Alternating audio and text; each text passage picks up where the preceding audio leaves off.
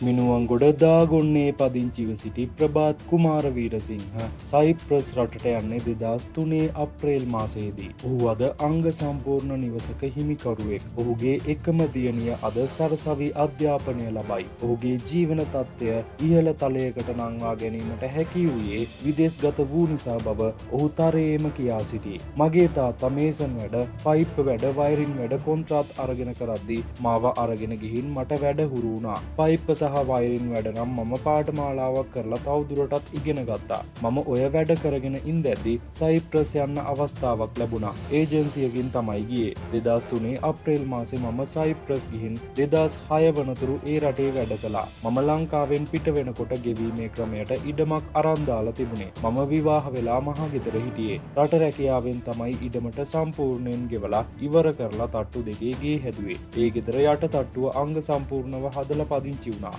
ඉඩම වටේට තාපෙ බැන්දා දුවව පෞද්ගලික බාලිකා විදුහලකට ඇතුළත් කලා දුවට හොඳට ඉගැන්නවා යනුවෙන් ප්‍රභාත් කුමාර වීරසිංහ සඳහන් කළේ දැඩි සතුටකින්. අද ප්‍රභාත් සීසෙල්ස්හි කන්ස්ට්‍රක්ෂන් ෆෝමන් ලෙස රැකියාවක නිරත වී සිටි. සයිප්‍රස් සිට මෙරටට පැමිණි ඔහු කලක් DMS ඉංජිනියරින් සමාගමේ සේවය කර තිබුණේ. එකී සේවා සහතිකයට අමතරව NVQ ලෙවල් පෝ සහතිකයද ඔහු ලබාගෙන සූදානම් වී තිබුණේ වර්තමානයේ පිටරට රැකියාවකට යාමේදී සුදුසුකම් සපුරාගෙන පිටත් විය යුතු නිසායි. සුදුසුකම් සපුරාගෙන විදිමත් ආකාරයට රට රස්සාාවකට යනවා නම් බයවෙන්න දෙයක් නැහැ. යන්න ප්‍රභාත්ගේ අදහසයි. අද දවසේ රට රැකියාවලට එතර ගොස් මහ මගරස්ති ආදුවන පිරිස ගැන නිරතුරුවම අසන්නට ලැබේ. ඩුබායි රටට එන්න එපා මෙහි රස්සා නැහැ යනුවෙන් පල කළ පෝස්ට් පවා මුහුණු පොතේ සංසරණය වෙයි. ඉතින් අපි ඔබට කියන්නේ රට රැකියාවකට යාමට අවශ්‍ය නම් ඉක්මනින්ම සුදුසුකම් සපුරාගෙන ඒ සඳහා ඉල්ලුම් කරන්න නැතිව සුදුසුකම් නොමැතිව රට රැකියාවලට ගොස් මිකරුණේ අනාත වෙන්න එපා.